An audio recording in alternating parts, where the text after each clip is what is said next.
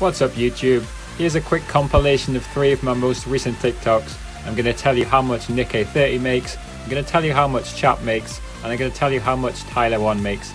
If you like the TikToks, make sure you subscribe to my channel here on YouTube. I stream five times a week here on YouTube. We play things like Fall Guys, Fortnite, we do video games as well, so just make sure you're subscribed and enjoy the TikToks. What's up TikTok? Let's see how much money Nick30 makes per month. This request came from the comments, so leave a reply with who I should do next. Starting with the item shop which this month made Nick around $12,000. Next up there's YouTube which made Nick around $40,000. Now let's break down his Twitch earnings. He made about 17,000 from subs, 18,000 from ads, and another 3,000 from bits and donations for a monthly total of $38,000 from Twitch. Finally, there's his sponsorships with Axe, G Fuel, and others, which made Nick around $40,000 this month. So added together, Nick makes $130,000 a month, which is a nice 1.5 million per year. What's up TikTok? Let's see how much money Fortnite veteran Chap makes per month.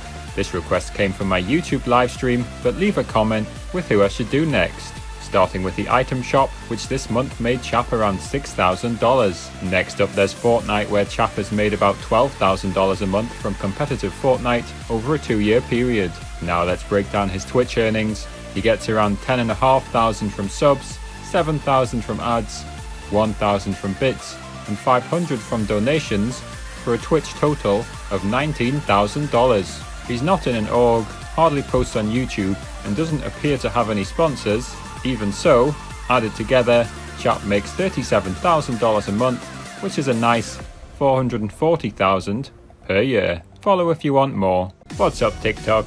Let's see how much money Tyler1 makes per month.